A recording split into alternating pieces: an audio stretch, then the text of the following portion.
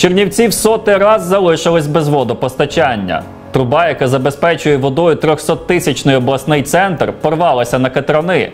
І ми всі декілька днів знову пожили як мешканці єгипетської пустелі. До життя без води ми вже потрохи звикаємо. Десятки тисяч городян у 21 столітті про всяк випадок щодня запасаються водою.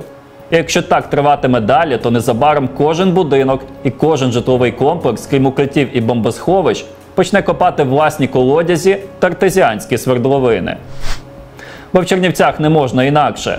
В Чернівцях ніхто не може покластися на комунальні підприємства, міську владу чи слово мера, яке нічого не важить. Коли я побачив відео фонтану з розбитої труби, то зрозумів, що для війни з Україною навіть зброя не потрібна. Достатньо в кожному місті поставити мером ідіота, який без жодного пострілу розвалить систему управління і перетворить регіон на пустелю.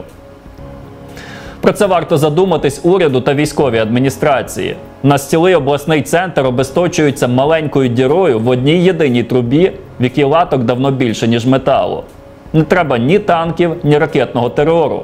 Аби підірвати тили, достатньо просто подавати воду під нормальним тиском по Чернівецькій трубі.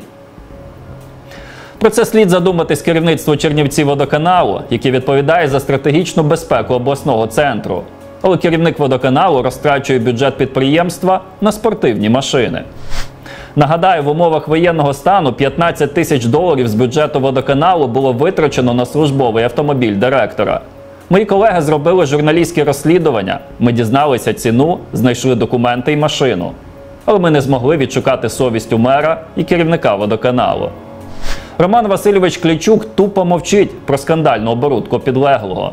Лише прес-секретарка мера неприховано глузує над нами. Води нема, але ви тримайтесь. Апокаліпсис почнеться з Чернівців.